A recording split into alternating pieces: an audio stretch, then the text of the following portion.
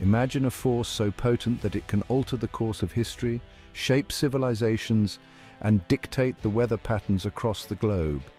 This force is deeply embedded in the Earth's climate system, a cycle so vast and complex that its reach touches every continent. What I'm talking about is the El Niño Southern Oscillation, or ENSO. It consists of two opposing extremes, El Niño and La Niña, each with the power to trigger significant shifts in our weather.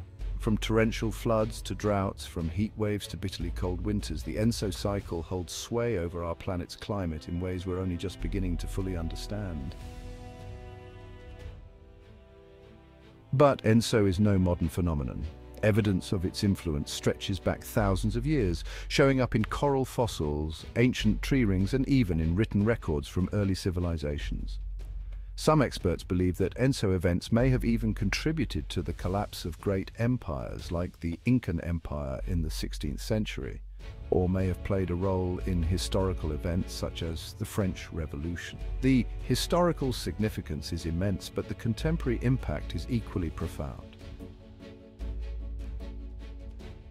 Take the 2023 to 2024 El Niño, for instance. It broke records with its intense ocean temperatures, causing unprecedented coral bleaching, agricultural disasters, and extreme rainfall in North America.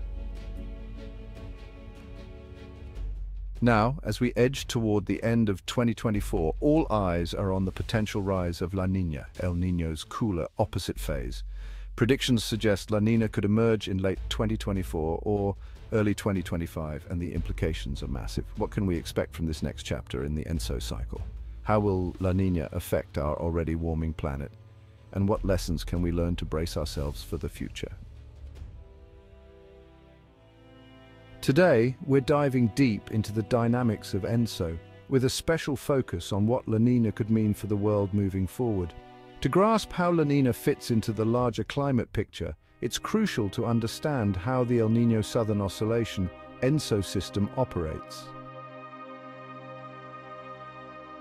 This natural cycle consists of three phases, El Niño, La Niña, and the neutral phase in between. These phases generally switch every two to seven years, and each one has a profound impact on ocean temperatures, atmospheric conditions, and weather patterns worldwide. The ENSO neutral phase, where neither El Niño nor La Niña dominates, represents the baseline state of the system, but the system rarely stays neutral for long. When conditions tip toward either extreme, the global climate responds dramatically with consequences that ripple across continents. At the heart of the ENSO system is the Pacific Ocean, particularly the region around the equator.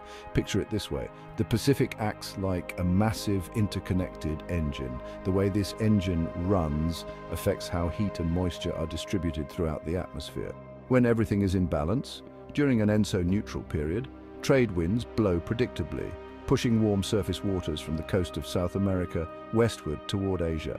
This movement of warm water allows cold, nutrient-rich water from the ocean's depths to rise up along the South American coast, a process known as upwelling.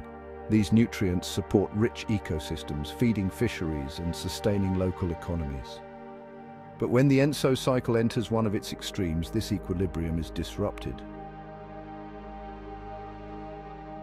These disruptions typically begin with changes in the strength of the trade winds, which are driven by the planet's rotation and the uneven heating of Earth by the sun.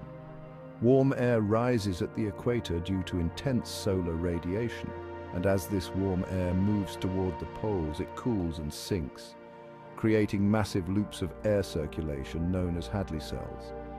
These cells are central to the creation of the trade winds, which blow from east to west in the tropics. However, Earth's rotation influences the direction of these winds through something called the Coriolis effect, causing the winds to curve. In neutral conditions, these winds drive warm surface water across the Pacific, but when the winds weaken or strengthen significantly, they set the stage for either El Niño or La Niña. Historically, the trade winds were so consistent that early sailors relied on them for navigation.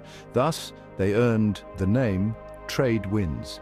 But the moment these winds deviate from their usual patterns, we know that something is happening within the ENSO cycle. A weakening of the trade winds typically signals the onset of El Niño, while a strengthening points to La Niña. To appreciate the full impact of ENSO, let's first reflect on El Niño, which is the warmer phase of the cycle.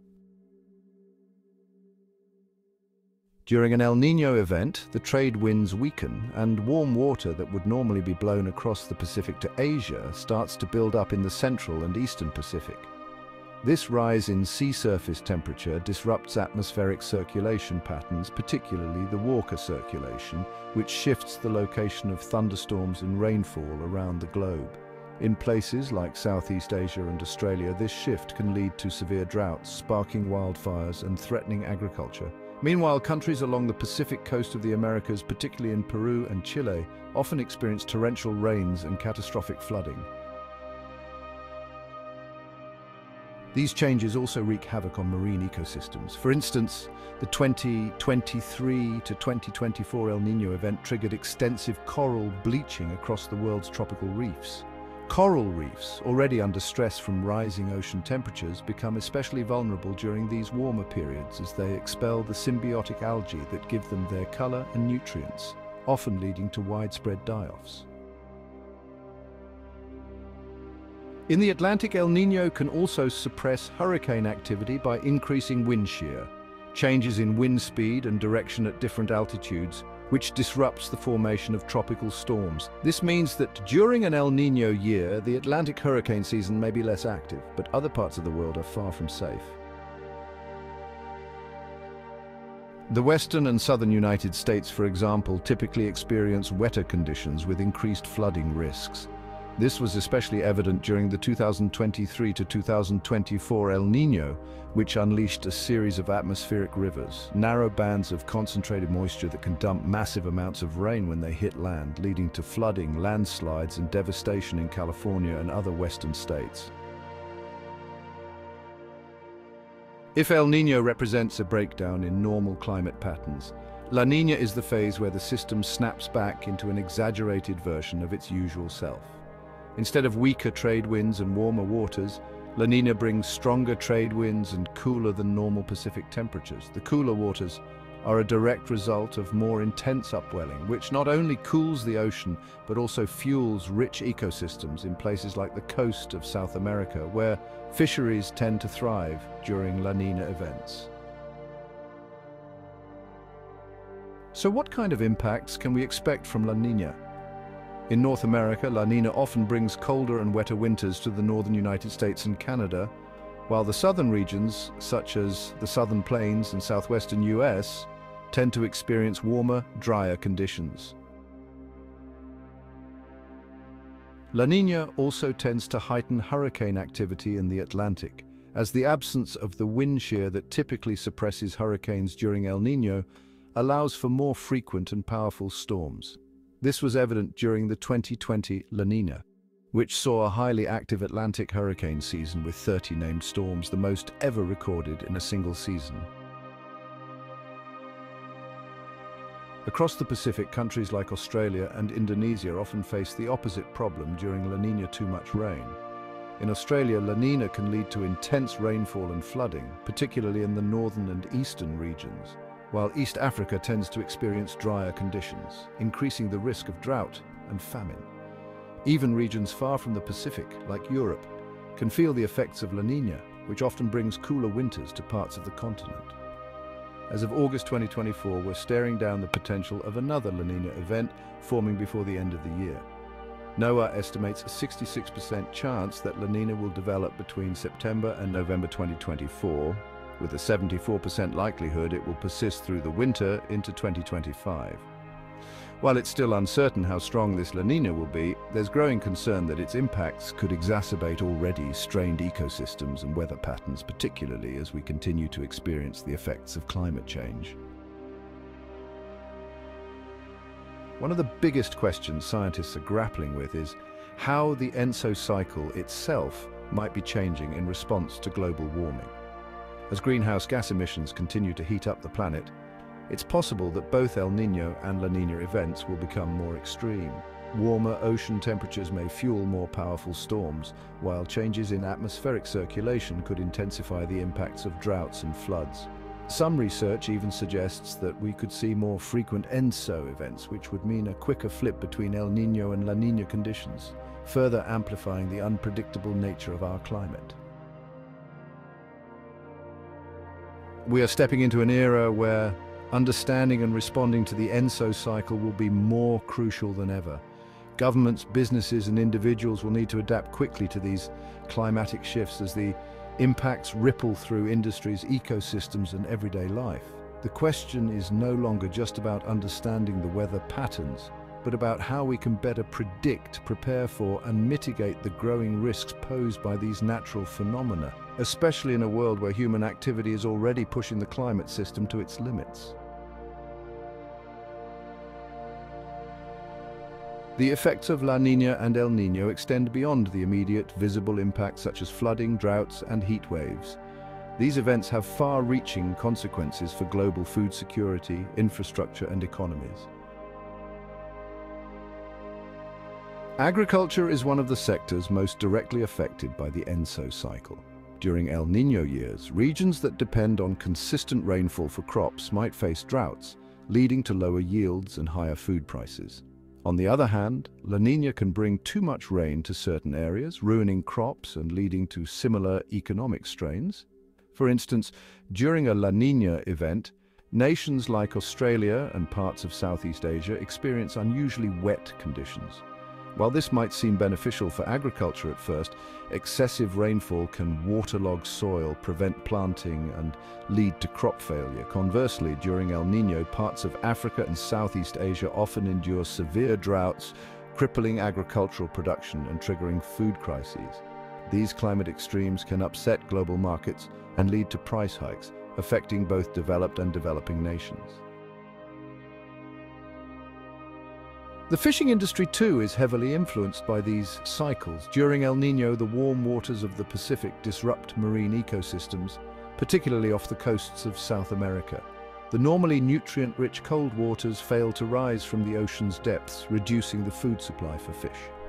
This devastates fishing communities that rely on the abundance of species such as anchovies and sardines. La Nina, with its enhanced upwelling, typically reverses this trend, temporarily boosting fish populations and the fishing industry. However, the instability of these cycles makes long-term planning difficult. Beyond human economic systems, natural ecosystems also respond dramatically to ENSO's push and pull. El Niño, for example, is notorious for causing widespread coral bleaching, Coral reefs, which thrive in stable, warm waters, are highly sensitive to changes in sea temperatures.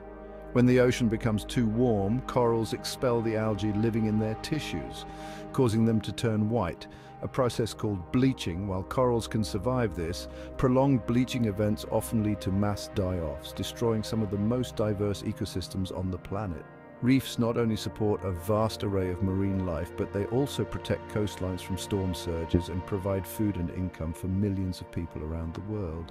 Meanwhile, La Nina can trigger wildfires in areas such as the Amazon rainforest, which often faces drier conditions during these events. These fires can destroy vast swathes of forest, releasing huge amounts of carbon dioxide into the atmosphere, further contributing to global warming. The loss of forest cover also reduces biodiversity and weakens the planet's ability to absorb carbon. Wildlife in these regions, from amphibians to mammals, struggles to cope with the rapid environmental changes brought on by ENSO fluctuations, often facing threats of habitat loss, food scarcity, and in some cases extinction. In Africa, for instance, El Niño can exacerbate droughts in regions like East Africa, leading to widespread famine, water shortages and mass migrations of both humans and animals. On the other side of the globe, in Australia, La Nina can bring excessive rains that trigger floods, affecting the survival of certain wildlife species, particularly those living in lowland areas. Some species may benefit from these shifts temporarily, but the long-term ecological balance can be severely disrupted by recurring and increasingly intense ENSO events. As we look to the future, one of the biggest challenges facing climate scientists is determining how global warming will affect the ENSO cycle itself. Current models suggest that both El Niño and La Niña events could become more intense as global temperatures rise, but predicting exactly how and when these changes will occur remains difficult. One possibility is that warming oceans will provide more fuel for storms and weather systems, making the impacts of ENSO events even more extreme. We could also see the frequency of ENSO events increase, meaning that instead of cycling every two to seven years, we might experience these disruptive phases more often, leaving less time for ecosystems and societies to recover. Moreover, the interaction between climate change and ENSO could produce new, previously unseen patterns. For instance, the 2023 to 2024 El Niño was one of the strongest ever recorded, but scientists are now watching closely to see if the following La Niña will also deviate from its typical behavior. There's a growing concern that climate change might alter the timing and nature of these cycles, making them harder to predict and increasing the likelihood of overlapping or back-to-back -back extreme weather events. One theory gaining traction is that warming oceans could shift the geographical center of ENSO events. Historically, El Niño and La Niña have their strongest impacts in the central and eastern Pacific. However, as sea surface temperatures rise globally, some researchers suggest that the focus of these events could shift farther west, potentially altering how they affect different regions. This westward shift could bring even more extreme weather to Asia, Australia, and other parts of the Western Pacific, while somewhat reducing the impact on the Americas. Given the far-reaching and complex impacts of ENSO, it's clear that preparation is key. Communities, especially those in vulnerable regions, must begin to adapt their infrastructure, agricultural practices and disaster preparedness to better withstand these climate extremes. Governments and international organizations are increasingly focusing on early warning systems such as improved climate modeling and monitoring to predict ENSO events more accurately. These systems allow for better disaster preparedness, giving communities more time to respond to impending droughts, floods and other extreme weather. In agriculture, new strategies are being developed to make crops more resilient to shifting climate patterns. This includes breeding drought-resistant plants and improving water management practices in regions prone to either extreme dryness or excessive rainfall. In fisheries, nations are working on sustainable fishing practices that can withstand the boom and bust cycles of marine life tied to ENSO events. Meanwhile, coastal cities are investing in stronger defences against rising seas and more intense storms, both of which are worsened by ENSO extremes. As individuals, there's also a role to play. By reducing our carbon footprints, supporting sustainable practices, and demanding action on climate change, we warming and, by extension, the most extreme effects of ENSO. The ENSO cycle is a powerful natural force, one that has shaped human history and continues to influence life on Earth in profound ways. With La Nina potentially on the horizon in 2024, it's a reminder that we live on a planet where massive climate systems are in constant motion. As our world warms, these systems are becoming more unpredictable and extreme, challenging us to adapt to a new climate reality. But by understanding how these cycles work and by preparing for the changes they bring, we can reduce the damage they cause and ensure a more resilient future. The more we learn about ENSO, the better equipped we will be to navigate the challenges ahead.